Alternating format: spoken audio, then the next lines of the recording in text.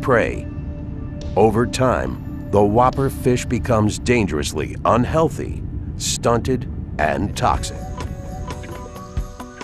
Worldwide efforts to clean up mercury are helping, monitoring metal manufacturing and curbing mercury-based products, all giving monster fish like the mako a chance to reach truly monster proportions.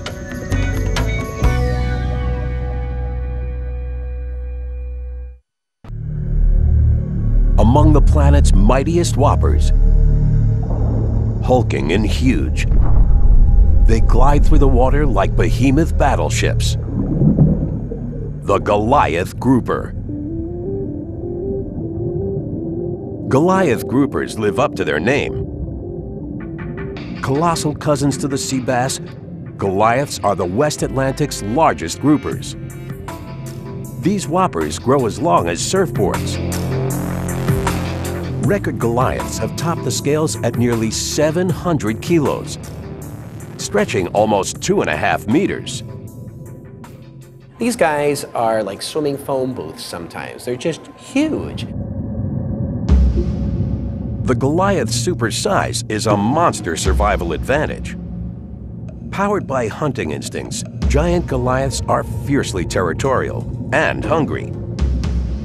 Fish, shellfish, and even sea turtles who swim into Goliath turf fast become food. And as for predators, Goliaths get so big they outsize hunting barracudas and sharks. Only the largest predator even attempts a Goliath kill.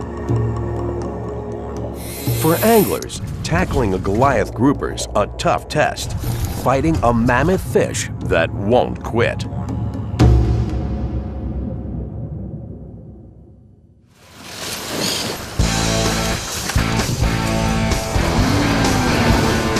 December 11, 2004. Fishing mecca, San Carlos Bay, Florida. Professional fishing guides Nelson Diaz and Ben Chansey set out together with only one species in mind, Goliath grouper. and the men know there's only one place to go. The Sanibel Causeway Bridge, Goliath's stomping ground. Here, these territorial fish take advantage of concrete pylons, ideal cover for ambushing prey.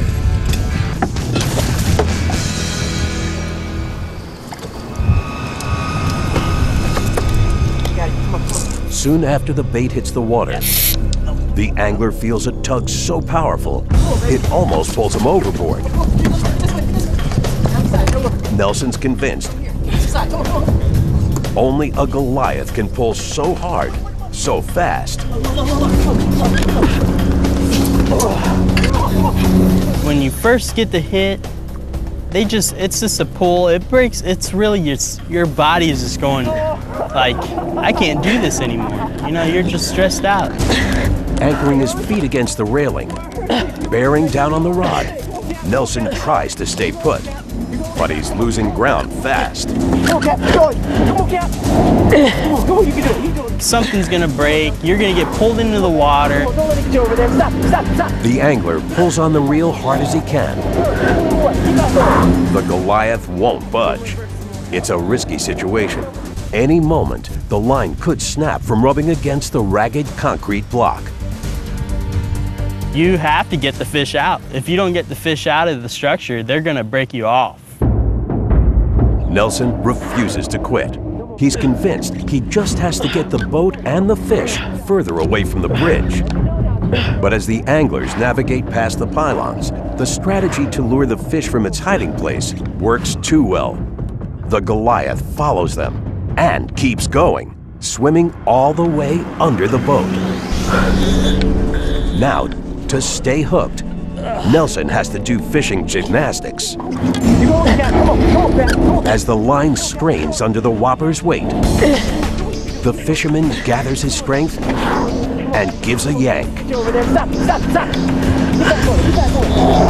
It takes an epic struggle, but he's got it. Nelson pulls the Goliath to the surface. It's huge.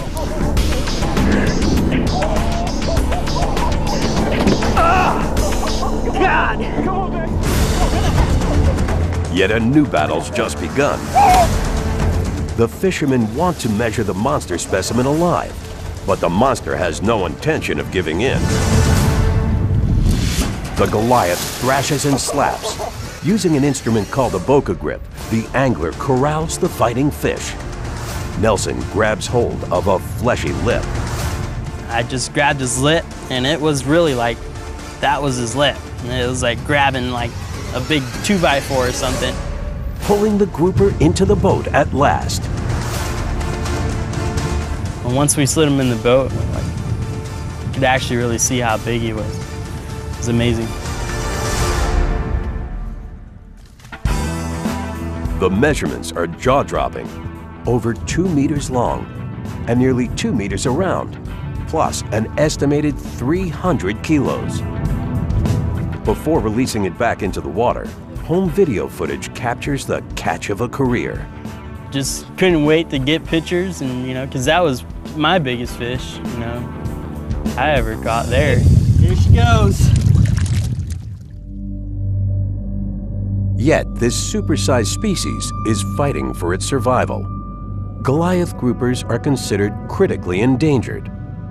What does such a dangerous designation mean? For an animal to change its status, we can look at population density. So not just simply the number of animals, but their distribution. Before extinction, there are four alarming rungs on the preservation ladder. International organizations calculate factors like total population, rates of decline, and habitat threats. Once a species is in trouble, it graduates from near threatened to vulnerable, from vulnerable to endangered, and then to the worst scenario, critically endangered. Efforts like fishing bans to save the Goliath have helped the species start to rebound. The ultimate goal? Goliaths reaching the bottom rung of conservation, least concern. Among the world's biggest monster fish, some are more than just huge. They're lethal. These masters of camouflage can kill with the flick of a whip. The stingray. You may not even see it there. And if you do see it, probably the last thing you're going to think is this animal's going to be dangerous. And then bam, you've been popped, just like that. Stingrays are a gargantuan group. 70 ray species inhabit the planet. Diverse ray species may be members of different fish families, but many share classic ray traits. And among them all, the biggest whoppers are the manta rays, weighing nearly 1,400 kilos with wingspans long as 9 meters. And mantas aren't the only monsters. Short-tail rays can easily weigh over 300 kilos. And with a nearly 2-meter length, their total surface area can add up to 4 square meters. Big as an office cubicle.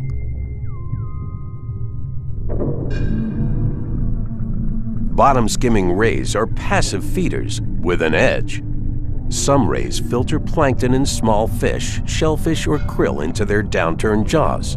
But when they want more, they can turn their mouths into vacuum cleaners, sucking up prey hidden under the sand. Rays can also keep their heads and bodies virtually buried in sand without suffocating. They feed off the bottom, but they actually breathe through the top. Two big holes on the top of their body. Sort of our nostrils went right around to the back of our head so that we can inhale through, the, or we can inhale through there and blow it out through our mouth. And when threatened, with the flick of a tail whip, a stingray becomes an assassin. Jagged tail barbs connect to a venom gland near the base of the spine. As the tail makes contact, the barb embeds or shreds the unlucky victim, causing searing pain or worse, piercing arteries, even bone, causing toxic shock and sometimes death. It's almost like a combination of having a whip on the back that you can kind of like Zorro, you could crack it at your enemies like that, but the tip of it, the tip of it actually is safe. It all adds up to a powerful monster fish. For fishermen who take them on, a whopper stingray is a tough test of strength. The smallest stingray in the world will give you one heck of a fight when you're trying to pull something through the water that's shaped like an airplane.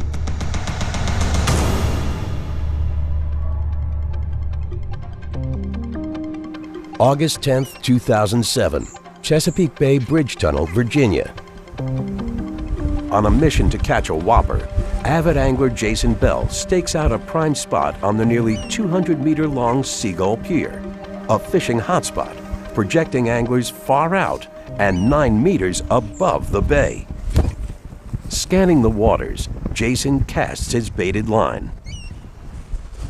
Setting the line to free spool, the angler props the fishing rod against the pier's railing and briefly turns away. Suddenly, the reel starts to wail.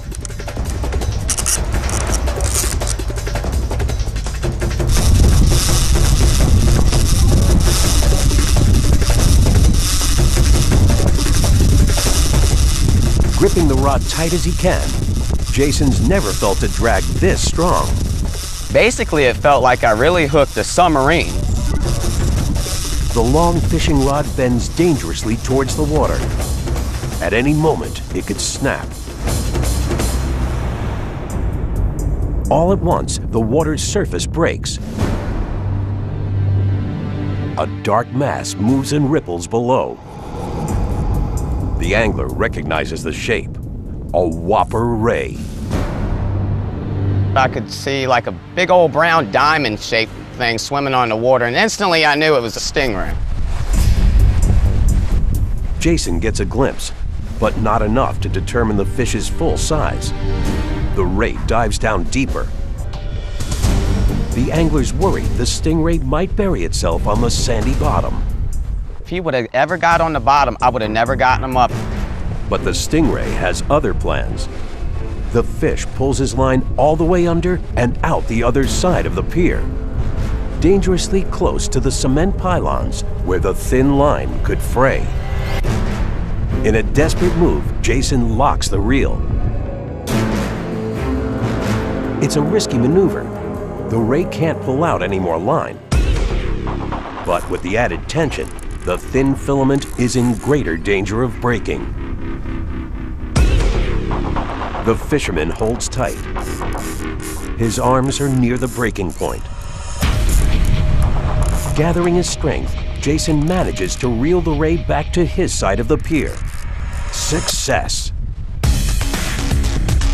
But it's only half the battle. The ray's still deep underwater.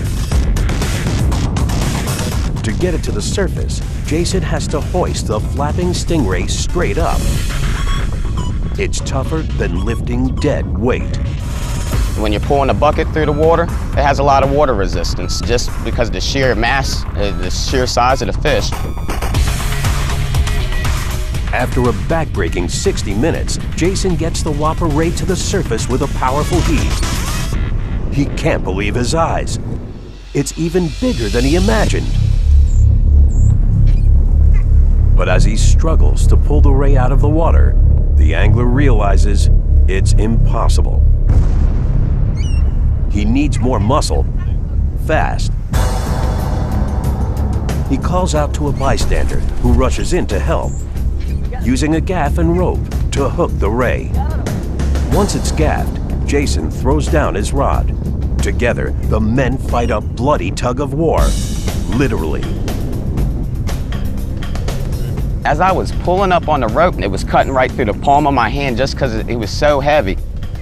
For this phenomenal fish, they're going to need even more brawn.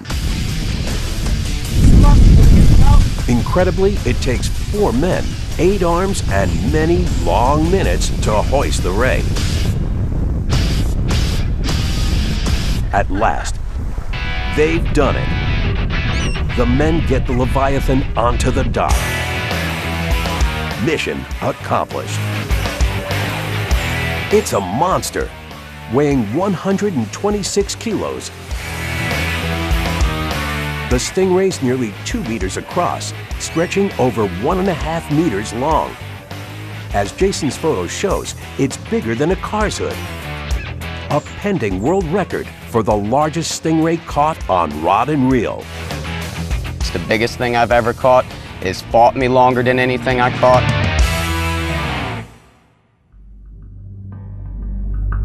Around the world, stingrays are often feared. Yet ironically, in the future, the same toxic trait that makes these fish so frightening may become their greatest asset to species protection. Their venom. Stingray venom may have healing powers. Crossing the line from poison to potion may come down to quality versus quantity. Too much stingray venom can cause muscle contractions and seizures. But in the right doses, new research tests if the same poisonous protein can be used to treat serious illness. From dangerous to life-saving, further proof of the importance of protecting big fish like mighty, remarkable rays.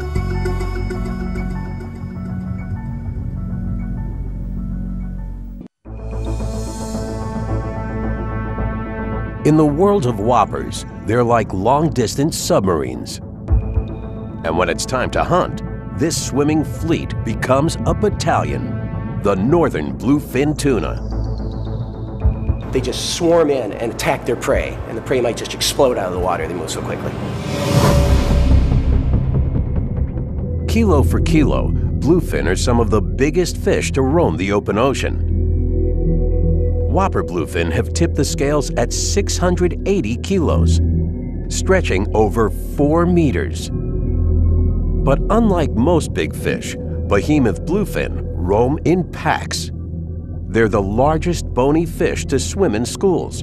Unusual behavior for animals big enough to survive solo, yet it's extremely smart. Schooling creates a dense mass of shimmering bodies underwater, deterring predators like sharks who find it much harder to penetrate and charge a shifting and fast-moving gang.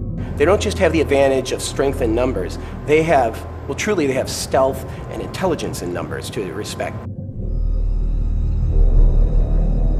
And when it comes to the hunt, schooling bluefin become a deadly swarm, executing maneuvers en masse, attacking prey like a brigade. If bluefin had a killer's credo, it'd be all for one. They're really about the only schooling fish we know of that works cooperatively.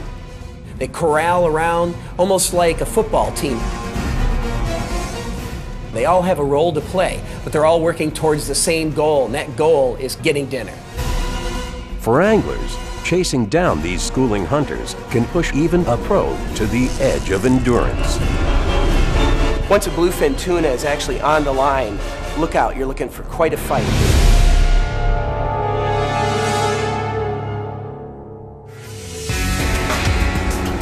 June 24, 2007.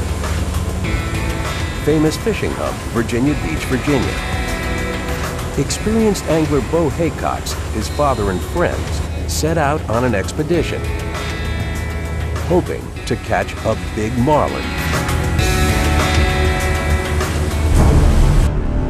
Soon after dropping their lines, they spot a commotion on the port side. A whopping splash. Fish on! Fish on! The anglers realize it's a double whammy. Got it! All right, come on. Simultaneously, two rods, Bo's and his father Rick's, bend down with a powerful tug. Each man's hooked a monster fish.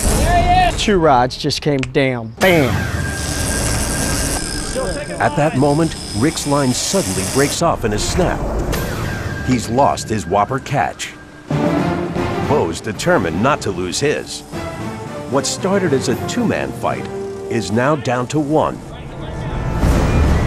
For maximum leverage, Bo quickly climbs into the fishing chair. His reel is screaming. By now, the fish has taken out so much line, Bo only has about 90 meters left. It's supersized and strong. Let's go and get it. Let's go and get We it. knew it was a huge fish. It was probably about 300 yards away, so we didn't know quite what we had. One thing Bo does know, landing this fighting fish will take all the strength he's got. There's nothing I could do but just hold on and let him go. The exhausting tug of war wears on. Bo bucks and strains in the fishing chair. Father Rick has a trick to make it easier for his son. He pours liquid soap onto the seat, allowing Bo to slide without getting stuck. But Bo's fish shows no sign of letting up. The angler's body's aching, yet he hangs on for an incredible three hours. Neither man nor beast is willing to give up. I didn't want to fight him anymore, but I wanted to get the fish. Bo's stamina's at the breaking point. He tries any strategy to increase pressure on his line. He puts a glove on his hand to clutch the reel without cutting his flesh. It's a battle, and, and it's you against the fish, and you want to win. Of course, he wants to win too. Then, after four back-breaking hours, Bo's determination pays off. There it is! Hold! The fish surfaces in a rush. Get ready! It's no marlin. It's a bluefin tuna. The biggest he's ever reeled in. Woo! Yeah, pretty work, buddy! He came up to the surface. I mean, I think all of us were like, oh my gosh, this is a big fish. Yeah, that's a big bluefin there. It takes all hands on deck to hoist the whopper on board. At last, they've got it. That's great. We got it. Got it? Bro, this might be a new state record. Examining the tuna, they think it might be a record catch. The skipper grabs the radio and calls friends ashore, sharing the news. They've got a monster. Ended up being, they said, you got 100, over 100 inch fish, you, you got it. Pretty work, bro. Good job. At the docks, a huge crowd's gathered. It takes 10 men to lift the giant tuna. The mega catch stretches an astounding 2.7 meters long, weighs 259 kilos, and measures nearly 2 meters around. A record breaker, Virginia State's largest bluefin tuna catch.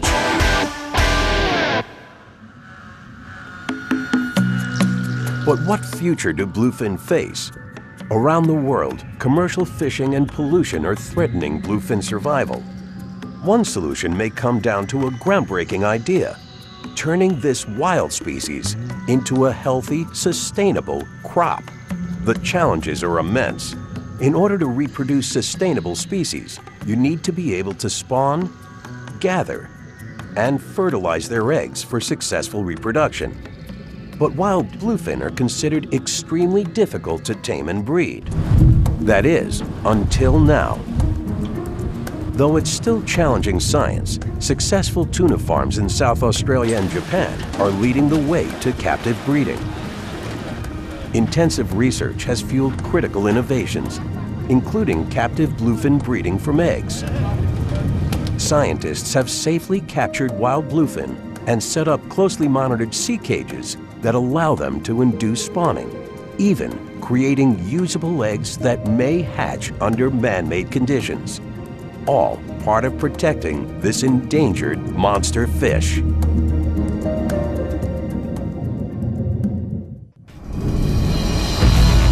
In the most extreme fishing quests, some monster fish are among the most prized catches on Earth.